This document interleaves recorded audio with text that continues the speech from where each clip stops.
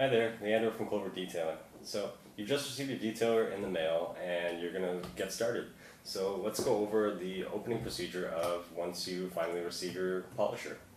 So right out of the box, you're gonna take your polisher out, all the included accessories, including the six inch backing plate, five inch backing plate, and there's a standard polishing pad, uh, but we also have microfiber and conical uh, polishing pads available. Um, you can check the links for those.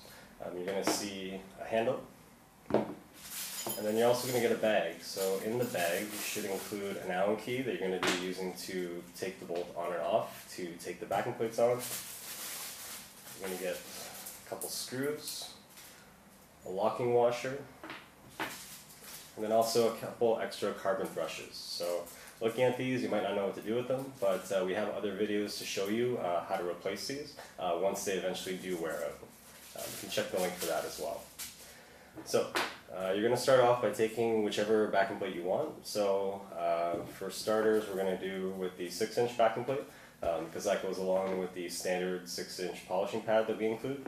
And what you're going to notice on the back, there are some grooves that fit along the counterweight.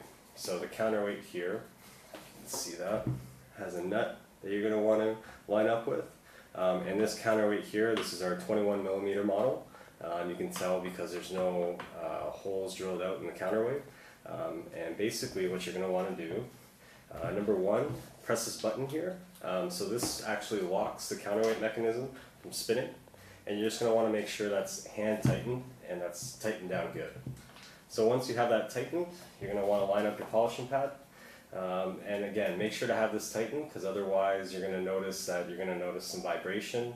Um, you're going to want to make sure that's as secure as possible. Um, now, line up your backing plate.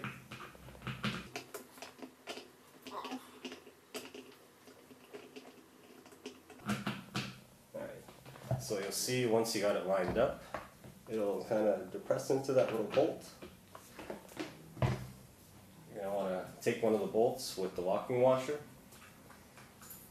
Right in there. Take your Allen key. Make sure to thread backwards a couple times just to make sure you're not gonna be stripping the threads. Cross threading them. And once that's in secure, you hold the backing plate by hand, secure the backing plate, and you're pretty much good to go. So you, once you're at this step, you can decide if you want to hand uh, put on your handle. Um, so the handle can go on either the left or the right side, um, depending on your preference, or you can just not use it at all. Uh, I'm not a big fan of the handle, so I choose not to use it.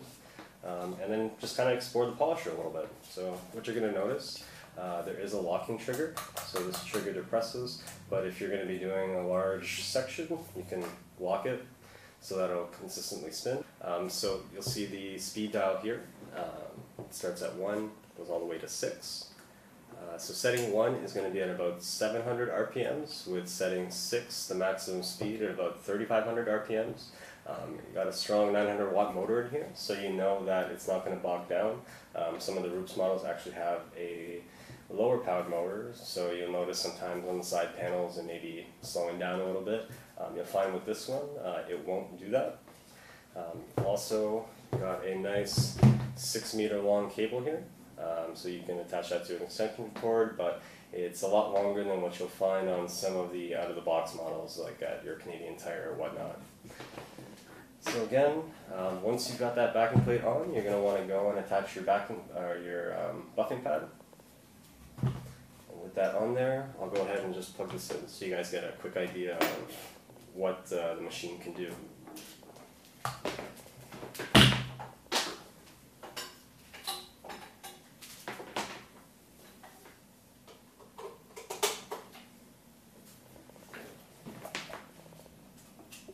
So turning it down to one, our machines do have uh, slow start, so you'll see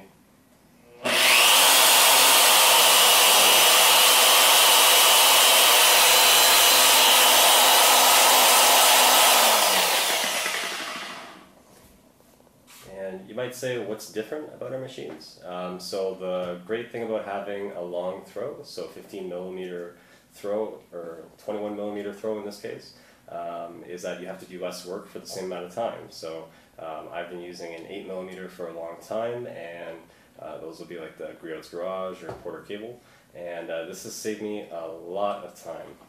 Um, excellent, all the build quality and everything is pretty standard. Um, everything's built pretty well, uh, no complaints there. Um, and then I'll turn it on to max power for you.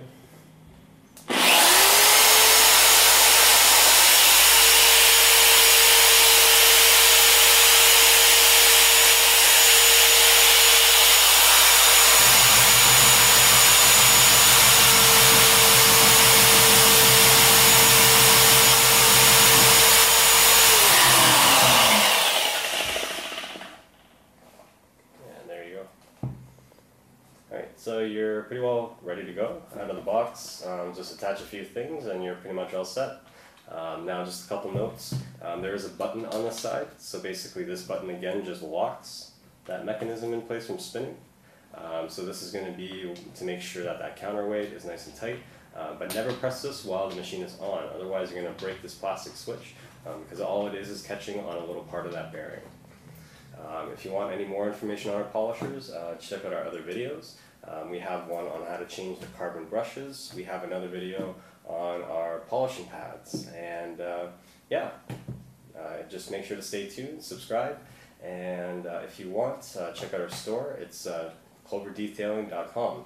Uh, everything's shipped out of Canada. Everything is going to be reviewed, and um, you'll have excellent support. So if you like this video, click subscribe. Uh, check out our store. It's www.cloverdetailing.com. Uh, we're based out of Mississauga, Ontario. Everything is shipped out of Canada. Um, we have polishers, we have polishing pads, um, clay bar pads, um, a lot of stuff that will save you a lot of time. And uh, if you like our channel, uh, subscribe, and we'll have more videos on how-tos and uh, gear bag videos and more stuff on car detailing.